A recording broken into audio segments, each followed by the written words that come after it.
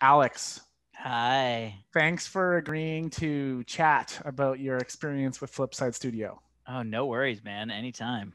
And I know I've been following you since Diggnation, and um, I've kind of known your work and, and what you've been doing in your career. But maybe some people who are seeing this for the first time don't know about you. Yep. So, can you talk a little bit about yourself?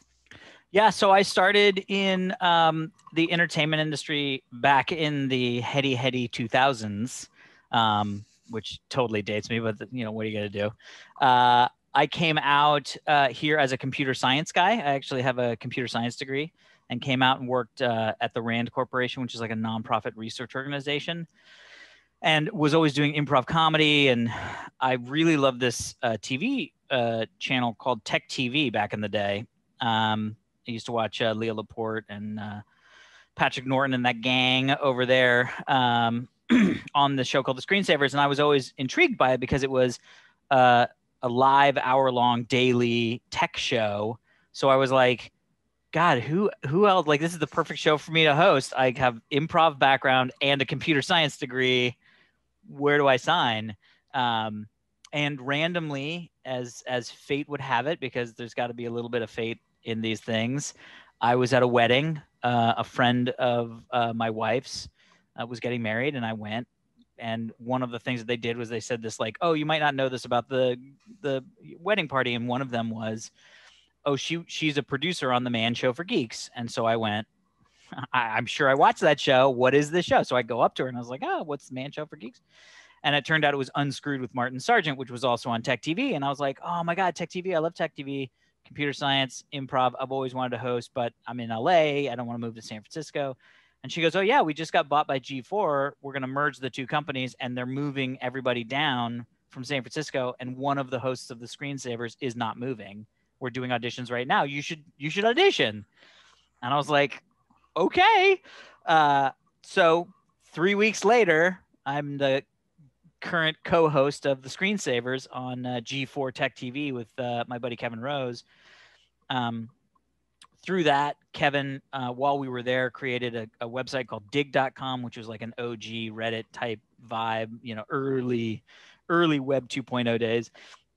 And uh, and after about six months, um, we ended up creating the podcast Diggnation, which ran for seven and a half years. And then from there, created and produced and host a bunch of different uh, content for Revision 3 as well as other companies. And so I've been doing internet video productions for a long time and then also uh, dabbling in in hosting still. I hosted blizzcon for blizzard entertainment for many many many years um, as well as directed feature films and commercials and produced other people's films and commercials and just been an all-around fan of of uh, uh, production and entertainment industry. And and then a buddy of mine started a website uh, called caffeine.tv which is a, an app that uh, is a, um, a, live social experience app um, and i was an advisor for the company for for many years and then when they created a joint venture uh, uh, streaming studio with 20th century fox or fox i should say new fox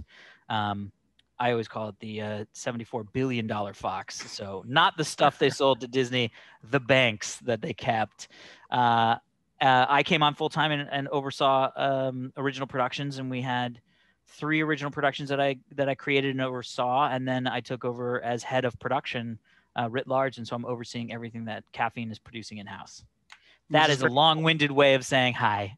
hey, that's a great, it's a great way. It's a great way. I'm, i love, I love that you you brought up uh, the Martin Sargents and the screensavers. Yeah. Because I remember, um, so uh, so I grew up in a small rural town. We had th- we called it Peasant Vision. We got three channels. Amazing. And so when I moved to Winnipeg, the big city, we got some cable TV, and I'm like, "What's this thing called?" Yep. Screensavers yeah blew my mind completely and um and i, I think we have our, we're kindred spirits so i yeah. i kind of followed i followed uh, i followed a lot of the work you did and i watched the Diggnation stuff and you guys were way ahead of the game on the podcast side of things right oh yeah yeah i mean honestly the reason why it started was week so leo had started twit which was the uh, this week in tech podcast and it was podcasting back then was really i mean now it's just like podcasts are ubiquitous but back in the day you actually they're called podcasts because you literally would cast it overnight using RSS feeds to your iPod. And literally, you would plug in your iPod overnight and let it download these basically radio shows. And so it was really hard to do. You had to get these special software. You had to kind of like find out where to get the RSS feeds. It was it was not great. We always called it like the ham radio days, right? Like it was all these like old wizened white guys that were like, wow, if you turn the frequency blah, blah, blah. right, right. I went to like some of the early podcast ex- expos and it was like, wow, that's really fun. Um, and iTunes was the big mover. That was what really changed it all for, for everybody and for us. I mean, I got a call from Kevin. This was probably six, seven months after we'd stopped doing the screensavers together, but I got a call from him and he said, iTunes just announced that they're going to release podcasting as a feature in iTunes, which now is like, pff, who cares? But back in the day, that was massive. It was like, oh, all of a sudden you're going to be up there with iTunes music. Like, um, I don't even think they started selling episodes of TV yet. It was like music. Um, and I was like, he was like, I want to do one. I, I want to do one for Digg because he was the CEO, of founder of that site. And I was like, yeah, let's do it, man. This sounds fun.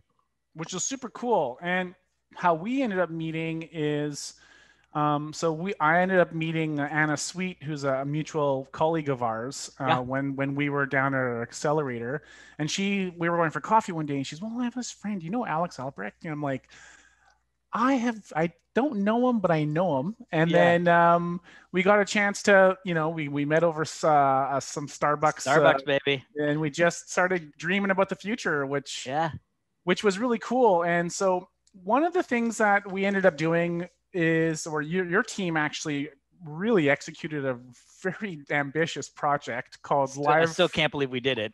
I, I, I, don't. I can't believe we did it either. Um, it's called Live from the Eighth Dimension, and mm-hmm. it was a, uh, it, it, and sadly it was, but it, it is. It, it, was a. It had a good forty-eight episode run or mm-hmm. forty-two mm-hmm. episode run. It was an hour long, you know, mocap animation show that you produced live and you had mm-hmm. pre-recorded mm-hmm. content and one of the questions i was i want to talk to you about around that is what were some of the big challenges that you found yourselves having working with this new mocap animation technology yeah it's really funny man i remember having coffee with you and i think you invited me to like the beta or something i popped on my headset because I, I you know it's just a tech fan. I have like all the headsets from VR, you know what I mean?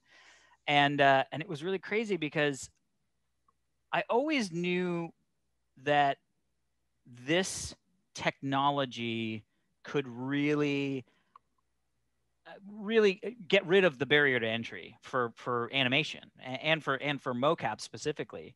Um, you know animation is very expensive and very time consuming right? And I, I love animation. I've been a fan of it all my life obviously. Um, and I remember when we we met, I was like trying to get my brain around it because it's such a it's such an a very specific yet completely open-ended system that you guys have created, right? Like I know what it's like because it comes from a, I come from television studios and live, right? So I understand teleprompters, I understand multiple cameras and tally lights and all of this stuff that as as a, a host and a and a producer, all that goes into doing a live uh, television show.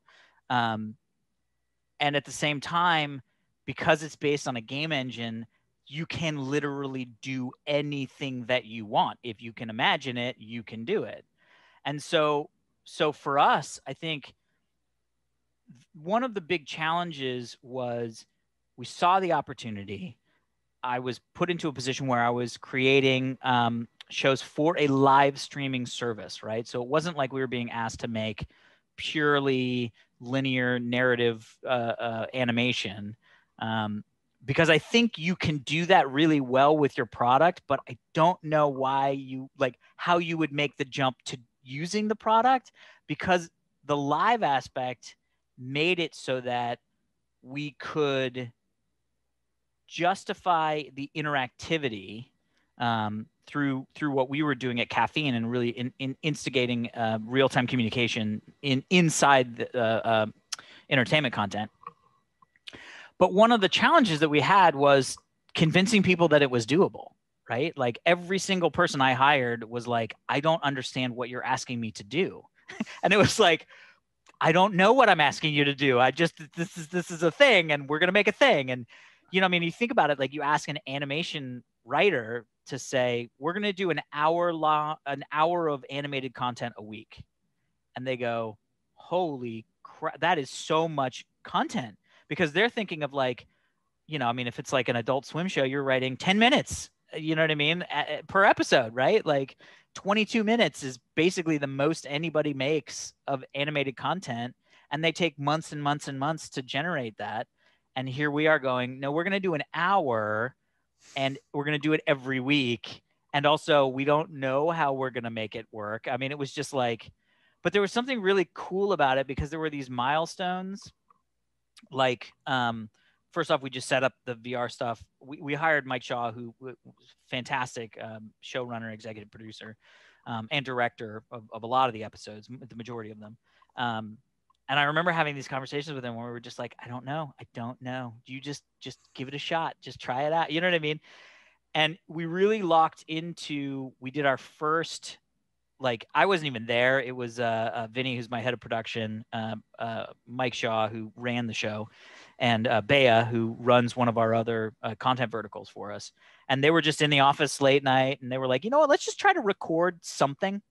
And so it was like, I think it was like the the the like salad. One of them was the salamander guy. One of them was uh, Liney Stickline, which we we now call him because he did did a couple episodes for us, which is like the stick figure guy you guys have. And then it was a uh, uh, robot Kyle. It was the uh, uh, Unity robot, free robot and they just shot this little thing where they just sort of said, "Hey," they were just like, "Hey guys, what's going on?" And I came in the next day, and they said we shot something last night, and I was like, "Okay," and I watched it, and I was like, "This is amazing. This is hysterical." Like, it clearly was improvised. It was clearly just three people punchy at work, but it was un undeniably engaging I mean, it was just like it was there. It was like it was this great moment where I was like, okay, okay, this is gonna. And then the real big challenge for us was, how do you tell a story if you have to do it all live? Now, I will say this: one of my personal favorite episodes was my dinner with Kyle or my dinner with Amy, which was literally a knockoff of my dinner with Andre, and it was if you go back and watch that hour long episode they were live for an hour. They did that like a play. And and that to me was like oh my god because it was always sort of like hot we can't fill in like get an hour in VR is even fatiguing like how do you do this? And and so so we we then sort of cracked the nut of like okay we're going to do the mocap stuff uh, that we're going to pre-shoot. Those are going to be sort of like our a b c story arcs you know act one two three. And then in between, we're going to have these live moments where we get to interact live. And another one of the big aha moments was, you know, we had a big production studio, you know.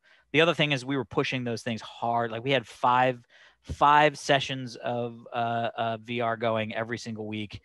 You know, the director, the three actors, you know, somebody in there moving sets and cameras. I mean, it was just it was nuts. Um, but we we had this audio guy and and and uh, I remember being in the control room and what we would do is we would use sort of standard television production stuff um, like a, a, video switcher to roll in the intro animation and and you know logo stuff that's sort of credits and then cut between the live and the and the pre-tape and all that stuff. And one of our first tests we were in the control room and we cut to a pre-tape from live. And I I was hearing the audio from the actors just sitting in the other room, like waiting to go live again. And so I go, I go, hey, uh, can you cut the cut the live like cut the live audio? And the guy was like, what? And I was like, their microphones are hot. And he goes, yeah. And I go, cut, cut, cut the thing. And he comes into the control room and he's like, what, what, what, what? And I go, this is pre-taped. Like I can hear the actors of the thing. And he goes, that's not live and I was like, oh, we're going to do it. We're going to do it. This can work. We convinced our audio engineer that we were live, even though it was pre taped.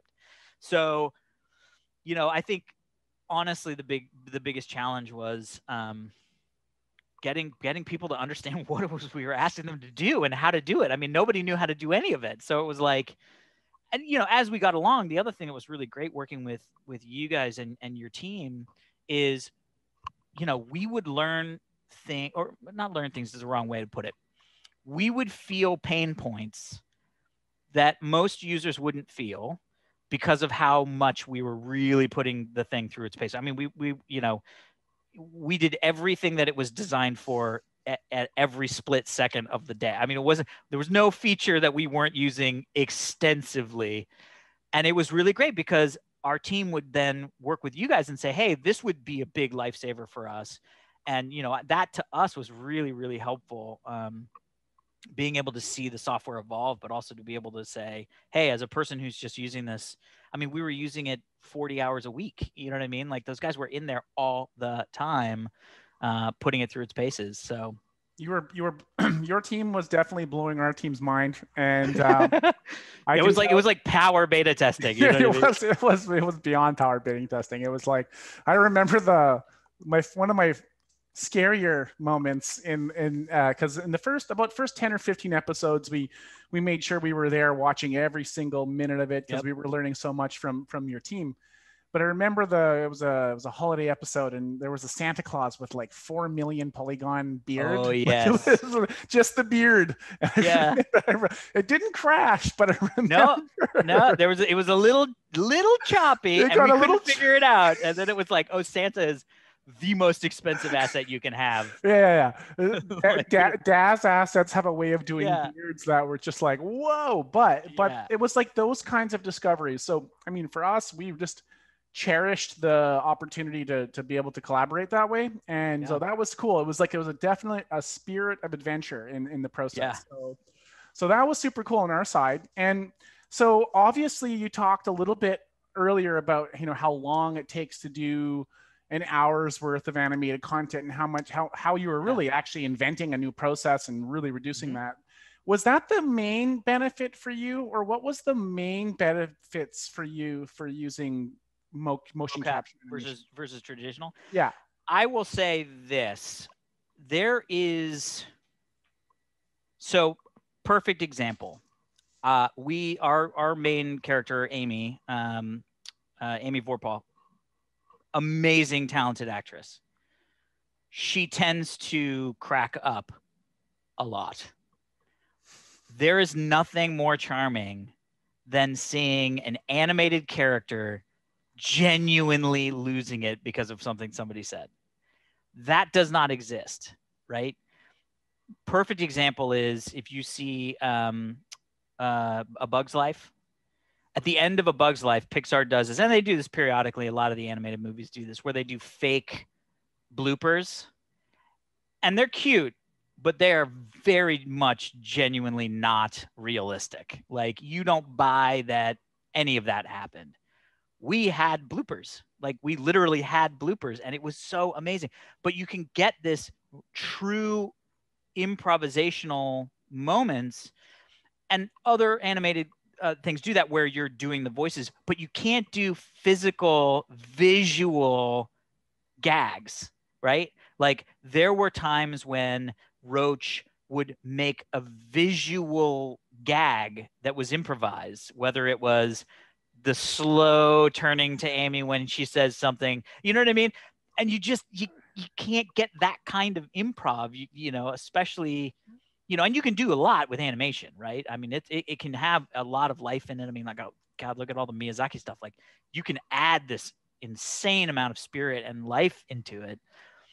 But when you're doing this mocap stuff live, there's just nothing like having a character seeing the other character in real time like how the character would look in that space being physically in the space picking up a prop and making a joke throwing something because you're angry. Like you just can't do this stuff outside of of of the software that you guys have built and outside this mocap concept of of animation. So it really afforded us the opportunity to you know the other thing is you can experiment you can take you know do 10 bad takes you know what i mean whereas you're never going to animate 10 bad takes you know what i mean you're going to cut together the audio you're going to put the little like you know like line Poses drawings. and- Yeah, and then you're gonna be like, yeah, that's that feels right. Now go take six months to make this. You know what I mean? So it Unless really you're into tor- unless you're into torturing yourself and you want to animate nine nine bad takes. Um, how about the writing process? Did you bring any of the? Uh, did you do any of the improvise? Was there improvisation in the writing, or did you follow a more of a television style writing? Or So the writing was interesting, right? Because again, we had to sort of convince the, these television writers that they were writing for something that was a little bit different, and and it took a while for them to figure out their voice, and and it really did get to this point where they were able to understand that they were they were writing for the characters, and then they would get into the into the show and into the pre-tapes and and even onto the live show. Like there were questions that they'd sort of said. There was sort of like a gag not gag is wrong but there was like a story to the character that was being interviewed and why. Um and the really funny thing is we started doing less of the interview stuff and more these like live pre like stuff that we would have pre-taped we're like well let's just do it live because it's so much more fun you know? So we would have these like live scenes you know? Like at one point they went to like a security guard on the station and that was the scene. They were interviewing the security guard and talking to the security guard about things. So it's like it wasn't really an interview it was like a scene where they go to the security guard but it was all improvised and um so the writers definitely got to the point where they were like oh this is great we can write you know so and so talks to chat. I mean that was the other thing. We had a whole section two whole sections where literally it was just our two main characters talking to the people that were watching the show answering questions chatting about things and and some of the stuff that became running gags all came from those chat things you know? I remember at one point somebody was like don't go as a pumpkin for halloween that's so lame and then it became this whole gag where like amy was going to go in halloween as a pumpkin and that was like the lamest thing that the audience could think of and then we did a halloween episode where her character was dressed as a pumpkin it's just like you can't get that without that kind of interactivity and also to be able to like flip it around so quick, right? You got this oh, moment, yeah. you're like, oh, let's take advantage of that. One of the things Yeah. I really love, there are two episodes that I just totally cracked up over. And one of them was a Western episode where uh, I guess the, uh, Amy and Roach are coming into this. I guess they're going to a merchant or something, and it looks like Mhm. there's a crystal ball in the scene of some sort. yeah And and this other person is actually looking into the crystal ball, but is actually looking at the chat. yeah And so it, the chat was like throwing all these little improvised moments, and and just you could see this, and it felt like I was watching uh, like a like I felt like I was watching a pre-tape, but I could Yeah. tell inside that moment that it wasn't. And um, Yeah. another another episode that did this for me was there was a preacher improvisation episode where uh, they're doing uh, Amy's on the pulpit, and Oh, she- yeah. she she becomes the cult leader yeah and yeah and again, she's looking at this. You can tell she's looking at the chat. So, yeah so, so how how did you? And I mean, I, I also see that fits with what caffeine brings, right? Like Yeah. caffeine brings this like low latency, quick chat interaction. So how how did you um like how did you land on that? Where how did you discover this this nice blend? Yeah, you know, it really came out of the the thought challenge of loving narrative, and then the the ability to have these um, ultra low latency uh, interactions. I mean, our our tech allows. Uh, our streams to be faster than the FaceTime call, right? So the thing, the thing that you're seeing Amy say, you can react to, and she can react right back um, in near real time. Uh, and that was a big differentiator for for us as a company. And so some of the stuff that we did, like Live from the Eighth Dimension, it was really a big, um, uh, not proof of concept, but it was really like it was it was a flagship way of being like, this is how this works. And I remember our internet went out right before we went live for the first time at Okay. the studio, and it was spotty and it was just weird, and it was like we couldn't get it working and there was sort of this other way to stream that we could maybe kind of like hobble but it was like a lot of dropped frames and it added this like big um this big latency into it. And big for us is like 15 seconds. That's too much for us right? And i remember i had the guys in the studio we were live streaming on a test server and it was like six o'clock and we were going live or it was five o'clock and we were going live at six for the first episode and I go and I go just clap over there in the game, and so you just see the character go like this, and I hear it because he's literally I can see him. He's right there, and I'm watching and watching and watching and watching and watching and find. And by the way, ten seconds is way longer than you think when you're waiting to see how long it takes, right? And then the character goes like this, and I was like, I, am not doing that. I, that that's not the show. I can't do that.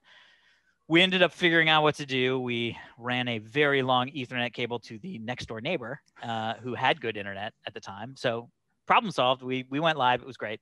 Um, but it really is that aha moment because not only is the latency impressive, right? Like I would do when I would just like hop on and stream back early days just to sort of like test it out. People would come in and they'd be like, "Hey, Alex," in chat, and I'd be like, "Hey, what's up?" And they were like, "Whoa!" And I'm like, "Yeah, this is yeah, we're just just just just a conversation. It's not like scrolling wall of garbage that's you know 60 seconds old. We're just chatting." But then you add in the fact that they're chatting with an animated character. I mean, that's just like the holy grail. I mean, people were it every week we'd have people come in that were like, "What is? How is this even possible?" And it's like, just buckle up and enjoy, man. It's it's the way to go. It was a lot of fun to watch. I I laughed many many many episodes.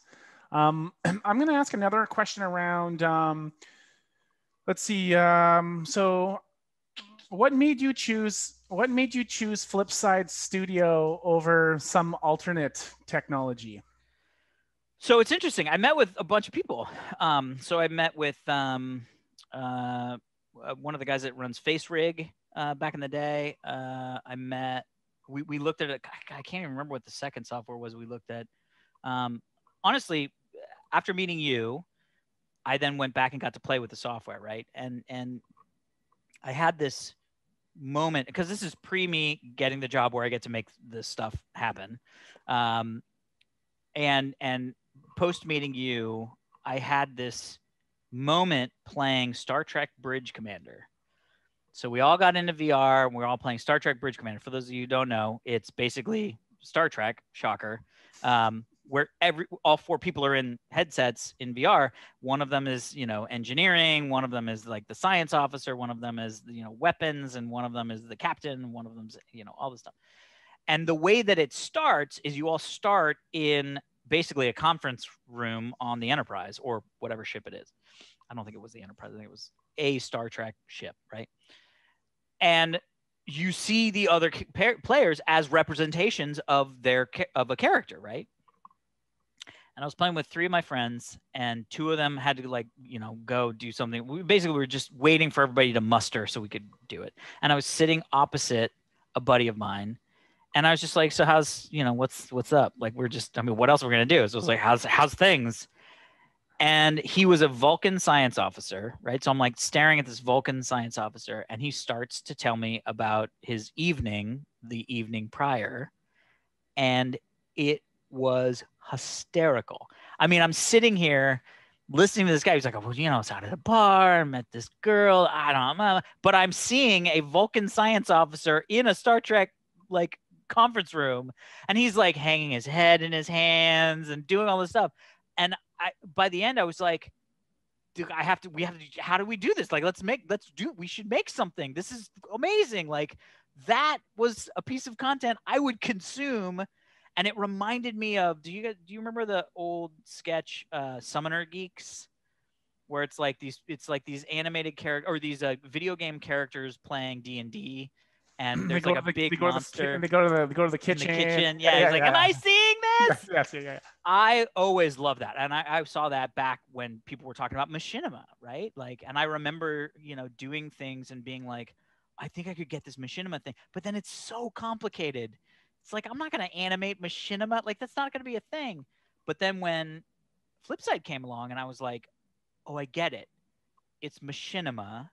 It's Star Trek Bridge Commander. But it also gives us all these production tools that we can understand because we know how production works. It just all came together. And the other companies do other things, right? Like you know, face rig is great if you're just going to do an avatar, an animated avatar, right? And even like um, Adobe just has, I can't remember what it's called, like Character Creator or something like that. Character Creator, yeah. yeah, awesome. You need to know a little bit more about animation than just put on a headset and you can see the person that you're interacting with and having a scene. So to me, it just was the one the one tool that really did everything, you know, and then stuff that we didn't even know it could do. I mean, honestly, there, we were doing stuff with like sweeping camera moves and racking focus and like I mean, they were doing stuff in that room that I even I was like, I is blowing my mind, guys. You know what I mean? And and that was and they were pushing us, and then we were and that back and forth. So it was yeah. it was it was very cool. And I, I and actually when you explain kind of how you came to this, it actually really validates you know where we were coming from as a as a company too, because so we come from so like my background improv theater and i saw the yep. stage as being really important right and yep. then and then i have a television diploma background. I had a diploma on uh, radio and television broadcasting, and so so you know all the tools that you I, need. You yeah. know the tools. You learn the tools, yeah. and you're like, okay, this all makes sense. And then you got this thing, this game engine, and you're like, oh yeah, this thing does anything. you know, yep. And you start seeing that overlap. And so, what was really inspiring about working with your team is that you guys just got it after after enough playing and yeah. once you are working with somebody who gets it uh, you really, really can experiment. And that was one of the coolest aspects of, of exploring the whole pro- all these projects with you. One of the things I want to ask you about is we've talked about live from the eighth dimension, which yeah, you know, it has its own. It, it, you know, we could talk about that for a while, and but one of the other things I want to talk about is um, you know like what have you been making in flipside studio after live from the eighth dimension and can you talk a little bit about some of yeah something I call like a hybrid show. I, I, I see that you're really bringing another twist on everything. Oh man, I with Live from the Eighth, we use the software. I would say as intended, right? Um, building cool animated experiences, right? Like characters and you know characters interacting and in, in sort of virtual environments and stuff like that.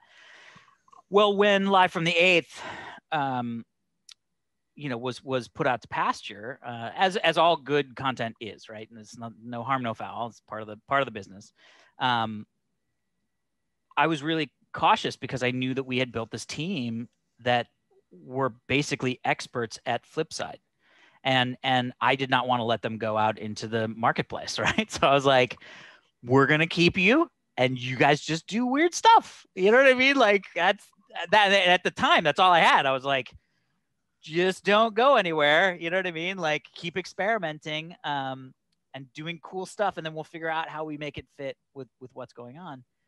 And it was right after um, the COVID uh, uh, of it all started happening, and and physical production wasn't going to be able to be done in any meaningful way um, for the foreseeable future, and and so we had to our one of our, our big flag flagship shows is the Dungeon Run, which does um, uh, it's a live tabletop uh, fantasy, uh, improv fantasy narrative experience. That's a weird way to say, it. but anyway, one of the things that we prided ourselves on with um, with the Dungeon Run was the production value. So we basically went, let's make the best version of uh, a tabletop RPG experience. So we had massive set, we had an animatronic puppet as the host. We had that we, you know, our production design team, the Greg Aronowitz and his team would like build these amazing, elaborate Dungeons and Dragons models that, you know, and minis and everything was just like, you know, we had a jib, like multiple cameras. It, you know, it, it was like, that's how you do D and D, right? And then it was like, oh, we can't do D and D together and so we were like, oh crap, okay. So we um, took a week off and did a watch with of, of the team, which was great. Um, and then we were like, you know, let's try to play D and D, right? And it was like, okay. And at the time, what the oddly because Amy uh, from Life in the Eighth Dimension is a D and D person. She has played D and D forever and DMs professionally. Um, and so they were like, you know what? Let's, I think we can just make the studio in Flipside and they can just play D&D in Flipside. And how fun would that be?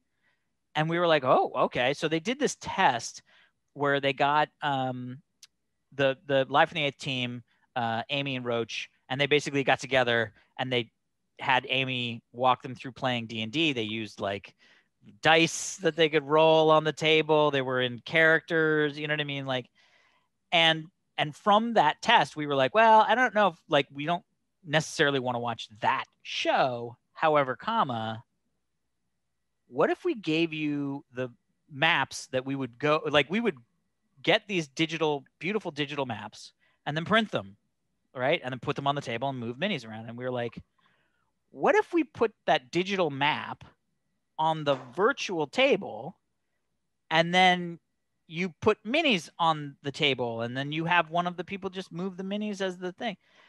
And that concept has evolved into some of the most amazing Dungeons and Dragons playing that has ever been put to tape. I mean, honestly, we every single week when we use the map room, constantly being asked what software we're using, how can I do this myself? And I'm like, man, there are five people making this happen. like it's not like, you know, I was like, it's and every time I'm like, it's Flipside.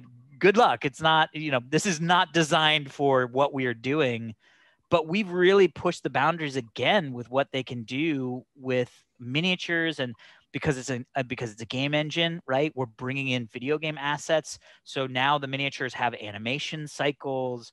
Um, we hired this really amazing talented um, artist named thomas who's just bringing his a game with creating the virtual environments and like they literally did this episode where it was called the descent and they basically were supposed to be just going down you know, we had a map and it looked kind of like a cliff face, you know what I mean? And Thomas was like, I think I can do something here. And he built a giant like rock wall waterfall with different like areas and we've I mean it's crazy and they do all of it live and in real time. I mean it, it and and the way that they communicate with the cast because of the low latency is they're just watching the show. So hmm. literally the map room is just in VR waiting, and then they go, um, okay, can I go? I'm gonna, you know, take me 30, 30 feet this way, you know, left. And the person just picks it up as they're saying and moves them left. And then they'll be like, oh, can I go one more space, uh, one space back? Boop, moves it back. And it's just like, it's mind blowing if you haven't seen it. It's like, you know, it, it, it really is. And again, all of that is because we had the talent that had been using the, the flipside software for o- over a year.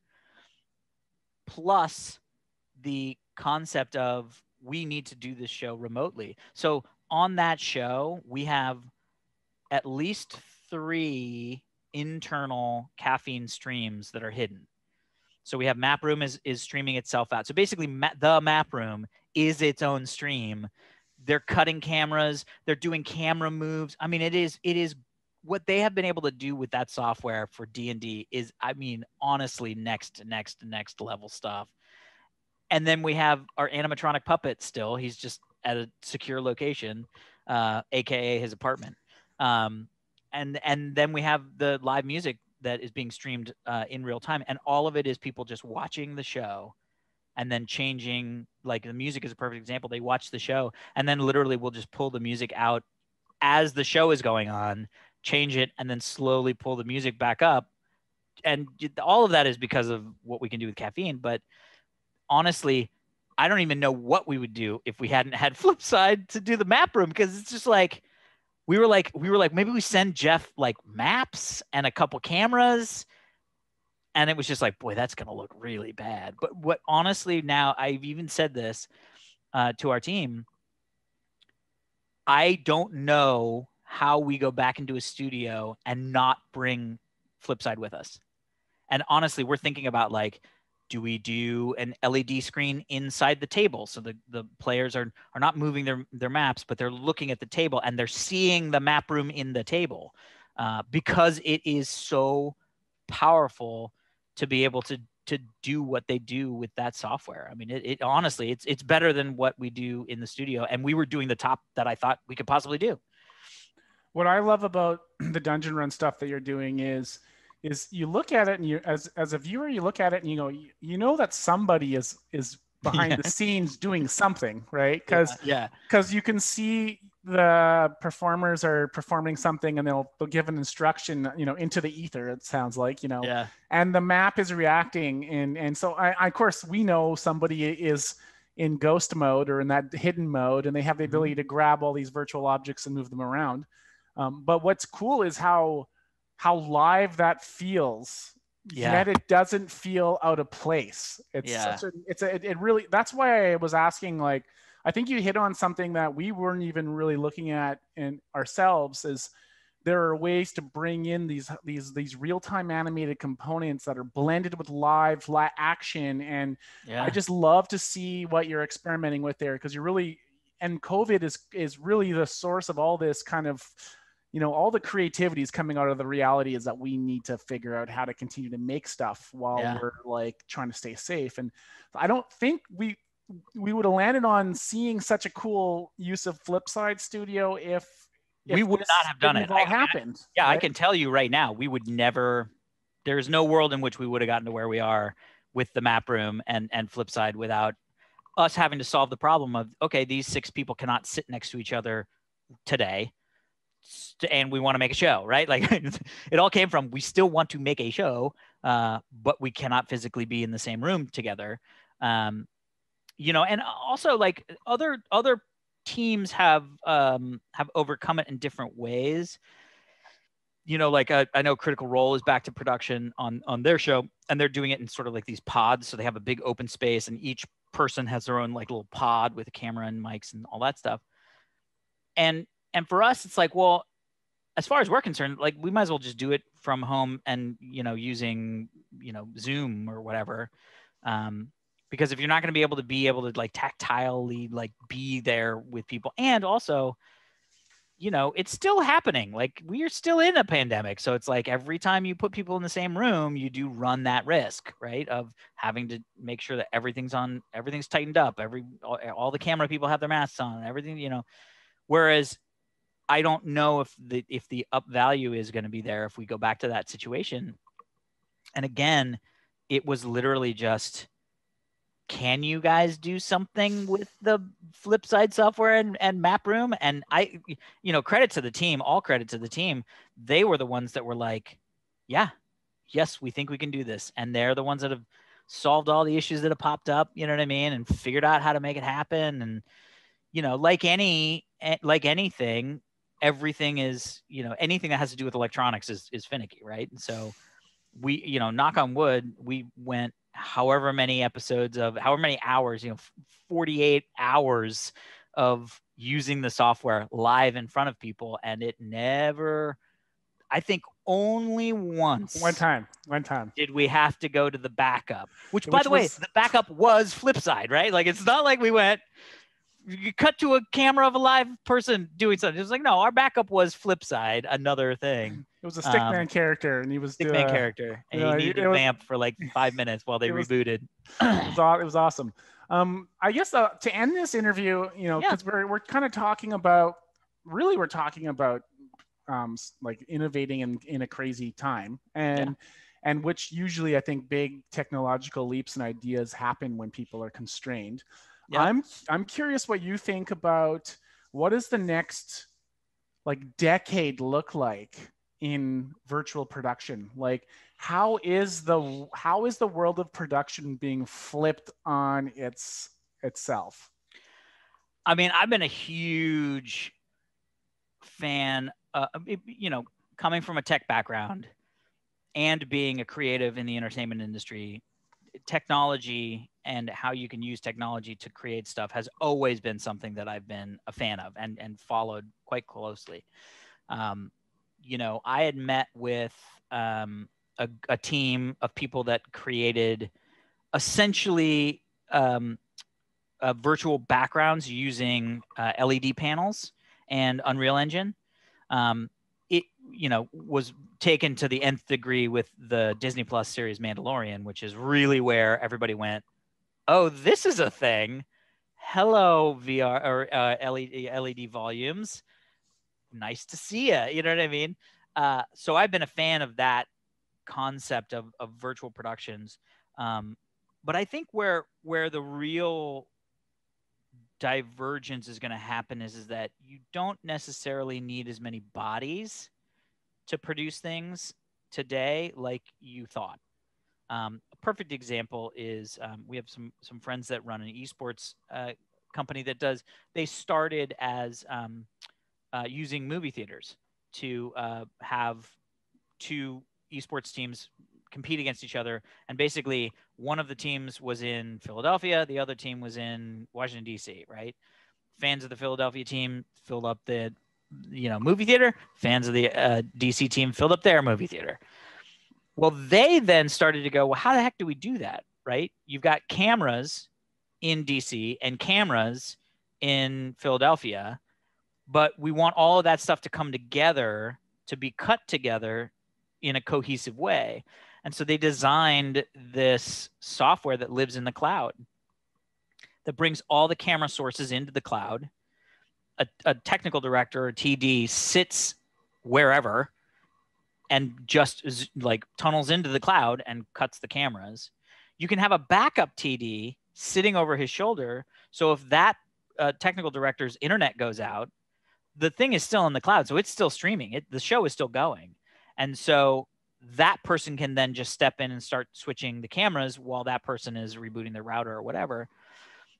I think there's a world in which that's going to happen more and more for stuff that you wouldn't necessarily need it to because you can think about like wait a minute we can have a technical director that doesn't have to travel to Atlanta to do that show right? They can stay in Los Angeles. They can do multiple shows over the course of a day or multiple shows you know back to back and we don't have to pay for them to travel. We don't have to pay you know the director can be sitting at his house and seeing all the monitors and talking with everybody that was there. And why does that person have to be on set to go tell the because for the most part if you're in a control room you're not you don't go out to tell the, the camera operator that to change a shot. You press a button.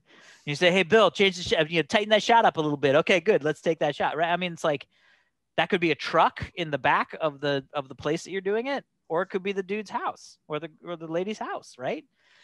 So I think that there are things like that that are going to fundamentally change uh, the way that the way that we do it, and and I think that you know, just talking to a, a buddy of mine today about about work from home from offices, and he said, you know, what this has shown us is that if you're a person who works from home, you are not a second class citizen.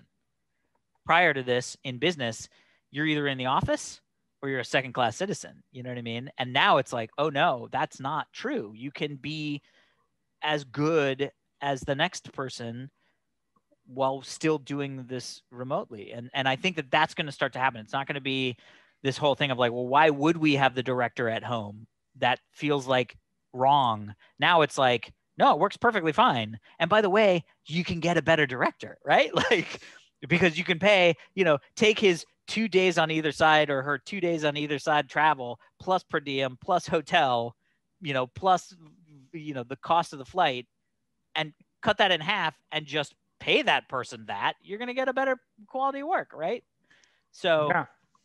i think that's going to happen and i think you know i think all of this the virtual production stuff with you know um, virtual characters interacting with real life characters in real time all that you know is going to be really next next level stuff.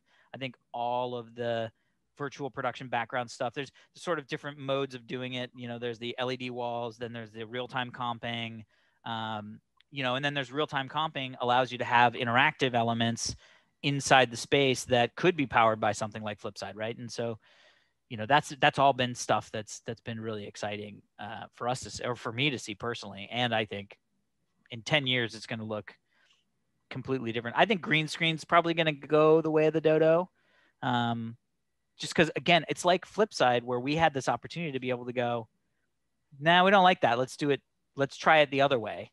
You know with green screen you get what you get and then you all you can do is make stuff that goes into the green screen but you're you're you know all the camera angles are the camera angles whatever you got on the day you know and just reference photos and all that stuff. With led walls and even with real-time comping you don't have to worry about that. You can try things out and go oh yeah i don't really like that. Well let's just move i mean with the led walls it's crazy. You can just be like uh, just rotate the world 180 degrees and then we're going to get the other side. It's like okay Whoop, you know what i mean? So changes location scouting Oh, big time. I mean, the whole idea of physical space is in question. I'd say, like, I think you're really challenging the idea of like having a central physical space, Yeah. and and and the fact that if you combine everyone's apartments or houses or homes together, you actually have that space, but it's distributed across all these people's Yeah. homes. You know, and uh, it's cool. It's cool to see that. It's cool. It's cool that you spent some time sharing your experiences with us. Oh, And dude, anytime, man. I uh, Seriously, without that software,